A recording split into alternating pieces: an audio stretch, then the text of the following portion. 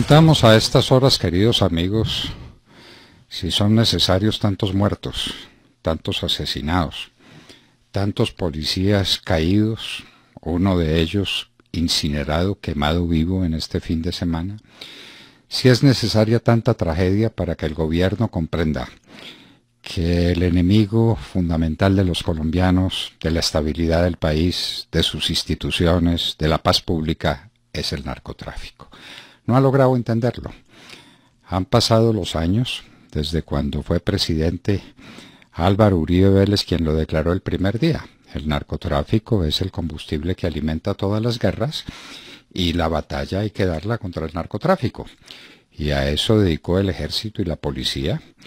Organizó, contando con la ayuda imprescindible de la señora ministra de Defensa Marta Lucía Ramírez, una tropa armada de más de 100.000 hombres en un año de trabajo. Y salvó el país, salvó el país atacando la causa eficiente fundamental de la violencia, que es el narcotráfico. Ese fue el resultado de la obra de Álvaro Uribe Vélez que tantos quieren ignorar, especialmente ciertos magistrados de la Corte Suprema de Justicia que está haciendo política con toga y. Pero volvamos al tema. Lo ocurrido este fin de semana, que es uno entre tantos fines de semana de luto, de dolor, de angustia y de amargura, es eh, suficiente para que entendamos la magnitud del problema.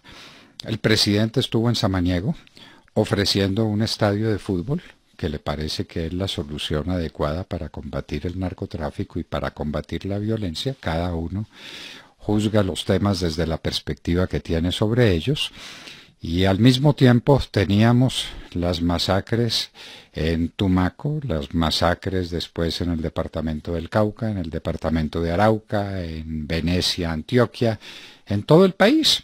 Más de 30 muertos por masacres en el fin de semana.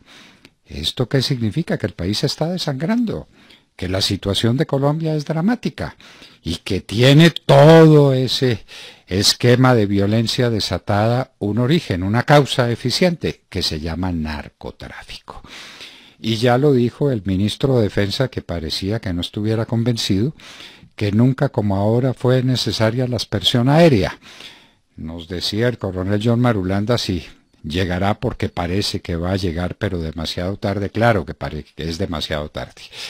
Desde cuando Juan Manuel Santos eh, suspendió la fumigación aérea para darle gusto a las FARC, porque esa fue la verdad, la verdad. Santos le entregó el país a la mafia, suspendiendo las fumigaciones aéreas y suspendiendo los bombardeos como condición para que le dieran un maldito premio Nobel de paz. Por Dios, por Dios, un premio Nobel ha sido el precio que Colombia ha tenido que pagar con tanta sangre, con tanto dolor, con tantas amarguras para, que tener, para tener ahora lo que tenemos, un pueblo en manos del narcotráfico, porque eso somos, no nos engañemos. Esto no es con estadios de fútbol, esto es con fumigaciones, esto es con bombardeos, esto es con presencia del Estado, esto es con una acción desatada en tantos frentes en contra de los bandidos que afligen la República y que la tienen destrozada. No puede ser que el remedio para estas amarguras sea construir un estadio de fútbol en Samaniego. Eso no puede ser, definitivamente no.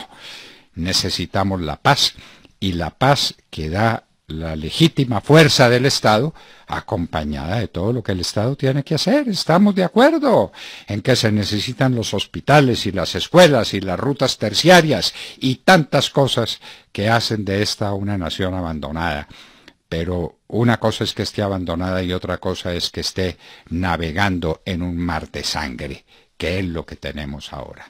Por Dios, no más masacres. Por Dios, no más muertos. Por Dios, no más tragedia para el país. Por Dios, fumigación, extradiciones, lo que sea necesario para que el ejército y la policía nos devuelvan la paz, ahora que son eh, motivo de ludibrio y de escarnio y de burla por parte de todo el mundo. Hay que rescatar el honor de las fuerzas militares y hay que ponerlas en el centro de este proceso.